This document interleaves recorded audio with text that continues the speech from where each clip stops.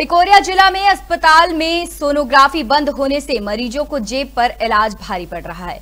अस्पताल में साल भर सोनोग्राफी नहीं हो रही है। सिर्फ़ गर्भावस्था में प्रसूताओं की जाँच महिला विशेषज्ञ डॉक्टर सोनोग्राफी से कर रही हैं। यह समस्या अस्पताल में पदस्थ रेडियोलॉजिस्ट के ट्रांसफ़र होने से बनी हुई है। इसके बाद दूसरा कोई रेडियोलॉजिस्ट अस्पताल में पदस्थ नहीं किया गया है, जिसका खामियाजा मरीजों को भुगतना पड़ रहा है। रोज़ाना अस्पताल के 20 मरीज़ सोनोग्राफी के लिए कई प्राइवेट सेंटरों पर जाते हैं।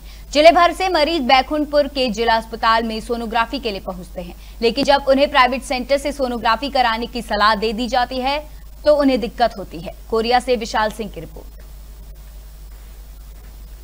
सोनोग्राफी मशीन है हमारे यहाँ। सोनोग्राफी का उपयोग हमारे यहाँ जो महिला चिकित्सक हैं, ये लेबर से संबंधित जो भी है, उसके शासन की जो गाइडलाइन के उस हिसाब से उनको ट्रेनिंग दी जाती है, पाँच छः महीने की। उसके बाद उसको वो करती हैं। सोनोलॉजिस्ट हमारे पास में नहीं है रेडियोलॉजिस्ट जिसको बोलते हैं हमारे यहाँ नहीं है।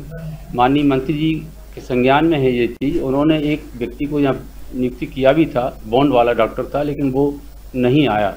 अब माननीय मंत्री जी के संज्ञान में है, बहुत जल्दी हमारे पास रेडियोलॉजिस्ट आ जाएगा तो जिस परेशानी है यहाँ के गरीब लोगों के लिए, सोनोलॉजिस्ट की वो समस्या समाप्त हो जाएगी।